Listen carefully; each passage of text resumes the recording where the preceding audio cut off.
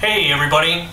Uh, we did a short video here a few weeks ago on some behind the scenes uh, stuff at the Riverbend Dutchmen where we're fixing some equipment and just kind of a sneak peek at some of those things and had a, a good response from that video and had a lot of people reach out via email and messenger um, asking to do a little bit of a, a deeper dive into how we do um, some of the sound production for the concertina and what's involved with miking and some of the different strategies. And basically uh, Chris what do you guys do?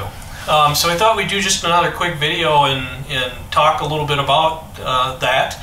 Um, first off let me start out by saying there's a million different approaches to how you might do that. So there's probably no one way there's no perfect way. I think it's all very much dependent on each person's um, situation, their setup, uh, where you're playing, how you're playing, um, what other instrumentation is in the band. So there's so many variables. There's no perfect way of doing it. Um, but in particular, you know, the concertina is a really unique instrument. Um, it lives sound-wise on, on the sound spectrum um, around 160 hertz up to about 4K.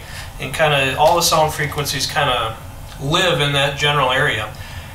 The thing is, with the concertina, um, and probably this would extend to the accordion also, is that it radiates different tones in all different directions. So each surface of the concertina has a distinct timbre um, and tonal quality to it. So it's a difficult instrument to, to mic and get a real natural sound. On the melody side of the concertina, the soundboard over here, has a very different sound coming out than on the bass side, on the, on the soundboard on this side. Same thing with the, the front of the concertina. The front surfaces and the bellows um, radiate a completely different sound than other parts of the instrument. Plus there's the, the air hole here where the air is coming in and out. Um, the buttons, you know, make noise, which may or not be desirable. So there's a lot of different mic placement techniques that can have a really dramatic effect on the tonal balance of the concertina. Um, dynamic mics, as an example, might pick up less air noise and less button noise than a condenser mic. So there's different mics, there's different techniques, different placements, and it all can have a huge, huge impact. So when we talk about miking the concertina, Again, lots of different types of microphones. Um, a very common microphone um, to use is a dynamic microphone. Um, one example of that, um, kind of a industry standard, but it's a, a microphone called the SM57, manufactured by Shure. Um, it's relatively inexpensive and it does a great job of capturing um, the frequency range that the concertina kind of lives in. So dynamic microphones take um, electromagnetic induction. They basically take the sound waves um, and convert it to an electric signal. And how that works is there's a little mylar diaphragm inside of there that's attached to a coil.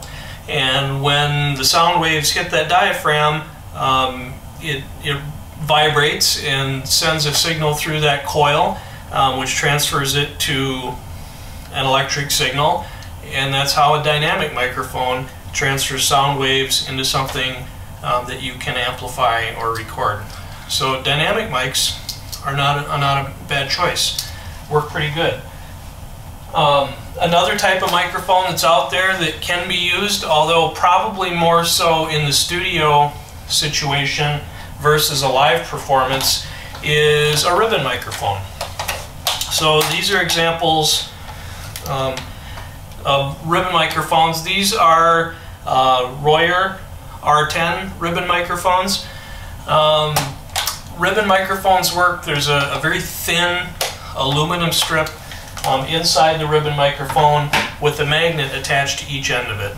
And um, when the sound waves hit that, the difference in, in the movement in that aluminum strip causes an electrical um, magnetic change between the magnets and it takes the sound waves and converts them to an electrical charge. It's probably the most natural sounding reproduction. Typically not as bright as say a condenser microphone or dynamic microphone. And it produces a very um, clear and natural sound.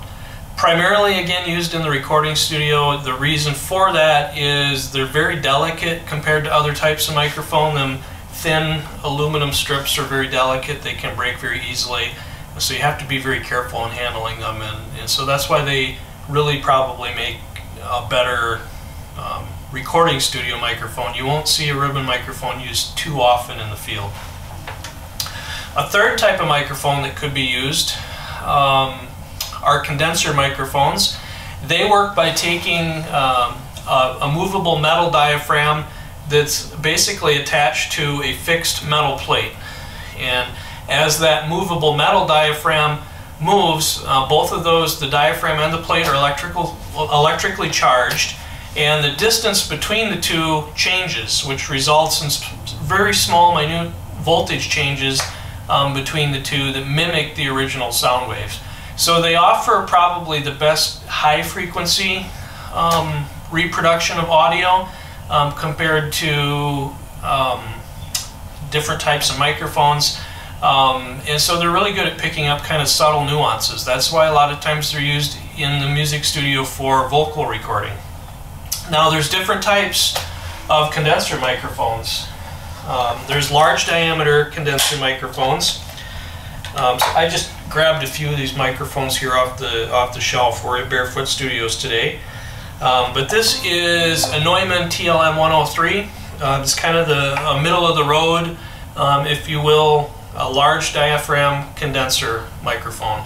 Um, large diaphragm is really kind of basically defined as any diaphragm that's bigger than one inch diameter um, is called a large diameter microphone. Um, but those really work best for voice. They, they do a really good job of capturing um, a really well-rounded uh, spectrum on the frequency of frequency response. Um, and they come in different polar patterns. Um, the one hanging above my head here, we used to capture some sounds from the grand piano. It's a U47, and um, it's got different polar patterns that can be um, set, and so it's, it's very versatile. Again, you won't find too many of these out in the field um, because they're somewhat delicate and you have to be careful with handling them. Um, another option for condenser microphones are small diaphragm condenser microphones, basically defined as any diaphragm less than an inch in diameter. Really good for high frequency sources um, and recording instruments. Um, with all condenser microphones, they all require an external power supply. Um, so it's kind of a, an extra thing that you have to do. You can't just plug it in and go. It needs to have a, a power supply to, to power it specifically. Um, so this microphone right here is what we've been using at the Riverbend Dutchmen. And it is a small uh, diaphragm condenser microphone. Um, it has an external power supply um, that powers it. And it's uh, made by a company called Peluso Microphones. Now, uh, John Peluso um, founded uh, his company, Peluso Microphones, in 2002, and he's an expert microphone craftsman. Um, has a lot of experience in repairing uh, vintage microphones that kind of led him to starting his own company. And they're based out of Willis, Virginia. It's a family-run company. Um, everything, all the parts are of the highest quality, uh, made in the United States, and they currently offer something like, I want to say, 18 different models of microphones. So this is the CE-MC6, again, small diaphragm condenser microphone. Um, it's got a 20 millimeter uh, gold diaphragm. It has a very high SPL rating, which means um, it can really handle um, loud, uh, large sources of sound without causing any sort of distortion. And its frequency response is very flat across the frequency spectrum. So it's not boosting any particular frequencies or um, attenuating any frequencies. Um, it, it really captures a very um, natural sound. Uh, the transformer inside of the microphone is hand wound uh, by hand and the amplifier stage inside the microphone is solid state. So it's very durable um, for for road use, which is desirable for a band that's on the road. Um, again, if, if you're someone that just uh, plays at home maybe or occasionally a few times a year, this probably is more microphone than what you need. Um, again, it all depends on your use and that's okay. Um, if you're um, frequently play and you know you've got a, a, band where there's other instruments and you need to really um, amplify the concertina, you know, to, to be able to balance the sound of the band, then maybe this is right for you. As far as condenser microphones go, this one's really kind of, I would say, middle of the road. Um, not so much in quality, but in price. Um, it retails for about uh, a little under $500, um, which for the quality of the microphone you're getting is a, a really, really good price. So a lot of different options. Um, I typically mic my concertina um, on the melody side. That's really what I'm trying to capture. So this is generally kind of the setup is I'll have about a foot from the concertina um, my microphone set up to kind of pick up the sound off the melody side soundboard. I'm not as concerned with the bass side because um, again I'm playing with the large eight piece band um, and we've got you know, the tuba is playing the bass notes, and oftentimes the tenor saxophones are playing down in the lower register, or the piano um, is adding some rhythm in the lower register. And so I don't need to focus so much on amplifying the bass side because there's a lot of other instruments that are playing some of those lower frequencies.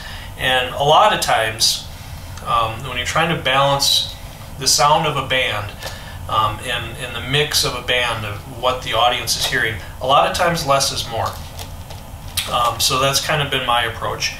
Um, some concertina players have little dynamic microphones. They call them uh, like pancake microphones that are suspended inside the concertina in the bellows. And then there's a, a jack on the concertina that you would plug that into. Um, I used to have one of those. I took it out for several reasons. One, when you play a four-hour dance job and the concertina's hanging off your neck, anything you can do to reduce weight is a good thing because your back oftentimes hurts after a band job. Um, the other thing is those microphones, not always, but a lot of times tend to be really um, lower quality microphones, and so it, it's you know you're taking what can be a, a $15,000 instrument and putting a $60 microphone inside of it, it just doesn't make a lot of sense to me. Um, again, that might work well for somebody that's trying to capture that sort of sound. It wasn't for me, so I removed it. The other thing, the main reason that I took mine out, because when I ordered this concertina, I, I specified it to have one um, put in there. But the main reason I took mine out is because it's inside. If you're playing close in, it sounds one way. And if the bellows are extended way out, it sounds completely different. And the tonal quality of the sound changes dramatically depending on pulling or, pro, you know, if you're pulling or, you know, air in or out, and if the bellows are extended out or if they're, they're put in. Dramatic change in the tonal quality. Um, and to me, it didn't sound natural. Um, and so I preferred to mic one or both sides of the concertina to, to capture a more natural sound. But um, in a playing situation with the Riverbend Dutchmen, again, big eight-piece band, uh, very loud on stage with, with a lot of acoustic instruments. Um, again, I'm not as focused on amplifying the bass side of the instrument because uh, a number of the other instruments are kind of playing in, in that frequency range and, and hitting the bass notes. I don't have to. Um, so that's been my approach. So, as I mentioned uh, with these condenser microphones, um, it's not just the microphone, you have to have a, a power source.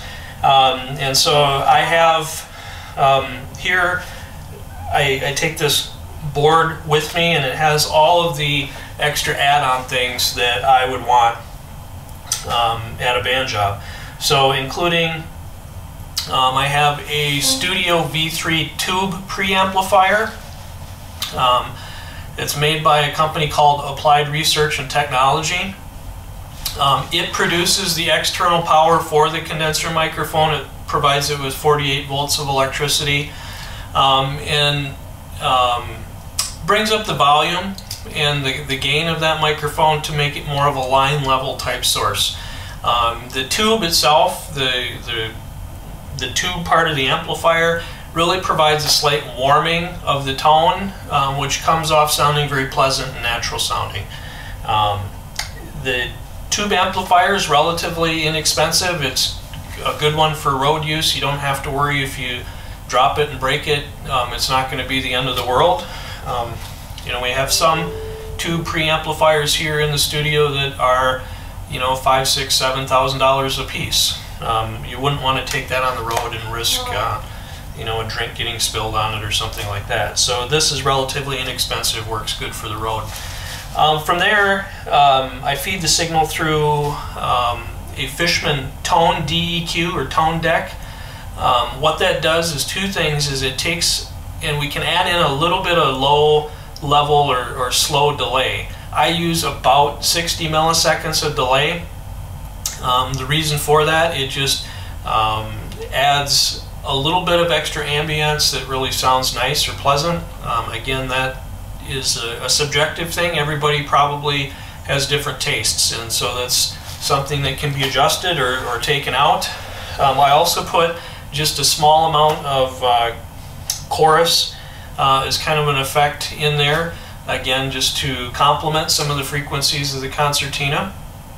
And then finally, um, there is a slight amount of uh, equalization in there. So you can roll off some of maybe the frequencies that um, are undesirable. What I mean by that is if you play on a certain stage or in a certain room, um, because of the size of the room or the shape of the stage, you might get some high frequency feedback or something that's just the nature of live sound and amplifying things. And so that EQ allows you to maybe roll off a little on the top end just to uh, prevent any of that sort of feedback and things like that. And then finally, in the chain, I have a uh, transformer isolator unit, which really kind of helps clean the electronic signal and prevents electronic interference. Um, anybody that's played in a band, you know, a lot of the old ballrooms or some of the, the bars or VFW clubs that you might find yourself playing in, you know, where the buildings are pretty old, the electrical system is old, and you might be playing next to the room where the freezer is and when the compressor on the freezer turns on you get some 60 cycle interference and the next thing you know you've got this buzz in your PA system that you don't want. Now the box itself where all this equipment is placed on is uh, not something that you can just go out and buy in the store. Um, it's such a specialized uh, market obviously with the concertina that you know you're not going to find this at Sweetwater. Um, so it's custom built by me out of solid walnut. Um, all of the the plugs uh, have a function. They're all uh, recess routed in. On the back, there's a power outlet strip that's routed in, which comes in handy for band jobs when you have different power needs. Um, so all made out of walnut. The top is this Velcro-y material, so you can just Velcro your components directly to it. All the wiring is contained, uh, self-contained inside the unit. So you can basically um, show up at a job, plug your microphone in, put the power on, and you're you're set and ready to go. No plugging in a bunch of plugs and things like that. It's already kind of self-contained, all within the unit itself. So that's a lot of information.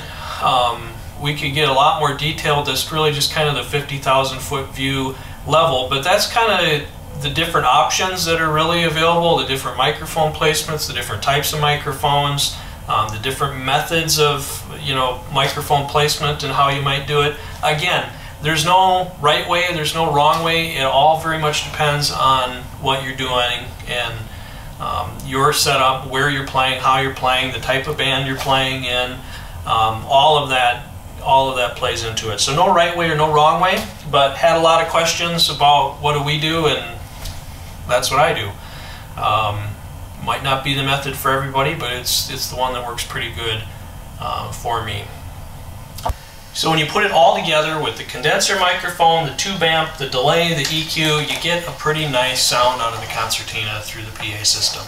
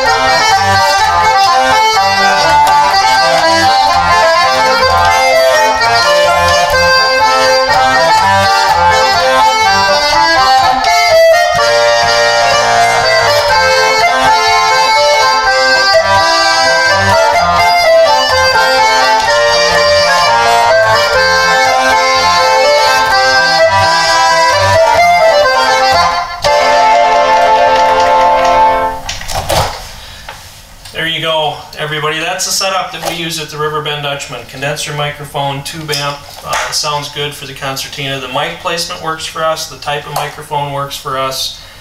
Um, again, no right way, no wrong way, it all just depends on all kinds of different variables. But um, we sure appreciate everybody who wrote in wanting to kind of know what our approach was after the last video that we did. And uh, we sure appreciate all the comments and the emails. Um, keep them coming. Thank you. And uh, hope you enjoyed today's video. Catch you next time.